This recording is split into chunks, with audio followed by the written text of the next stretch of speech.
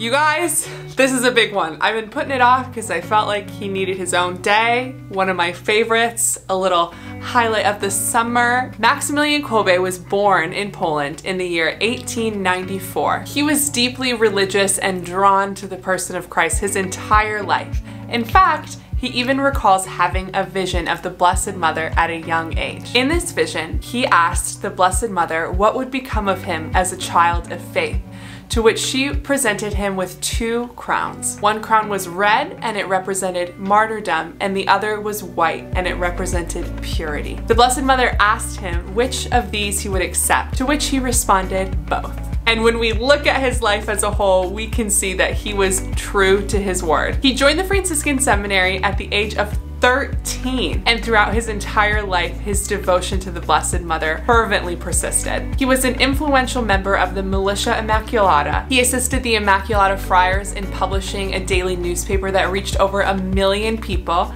He broadcasted, he wrote, he read, all motivated by the call on his life to honor and defend the Blessed Mother. And in 1941, during World War II, Maximilian Kolbe was arrested by the Gestapo for hiding and protecting Jewish people. He was then sent to Auschwitz and became prisoner number 16670. A few months after he arrived in the concentration camp, it was suspected that three prisoners had escaped. Under that suspicion, the commander of the camp ordered that 10 men should be put to death by starvation in an underground bunker. When one man was selected, he cried out for his wife and children that were in the camp with him, and immediately Maximilian Kolbe volunteered to take his place, and he was sent to the bunker with nine others to endure a torturous death by starvation. During these long days, Maximilian led the other prisoners in song, in hymns and prayers to the Blessed Mother. He kept their spirits up, and when most others had died, he was found kneeling on the floor of the bunker, praising God. After two weeks had passed in the bunker,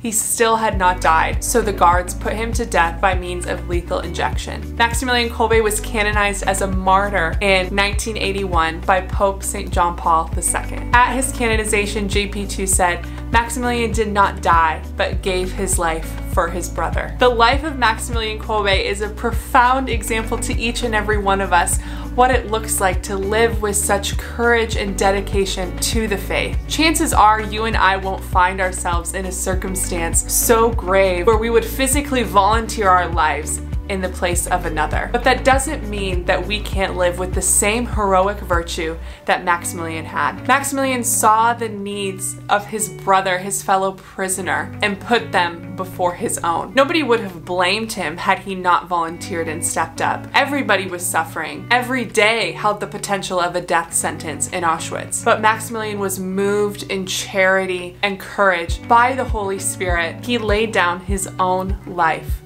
for someone else. And not just his fellow prisoner, the man whose place he took, but his wife, their family remained intact because of Maximilian's sacrifice, because of his selflessness, because of his charity, because of his courage. And that man who he sacrificed for was able to witness his canonization, was able to witness his elevation to sainthood, the fruit of his sacrifice. You and I can live with this same heroic virtue every single day of our lives when we choose to put others before ourselves. When we choose to make a choice that may not be the most convenient or the easiest or the most ideal for us, but for the good of another, we are living heroically in our everyday lives. So today, to celebrate our friend Maximilian, I want to encourage you to ask the Lord what you can do for someone else, what sacrifice you can make to love those around you the way that He would. The Lord and the Blessed Mother were with Maximilian Kolbe, and they are with you, my friend. Maximilian Kolbe,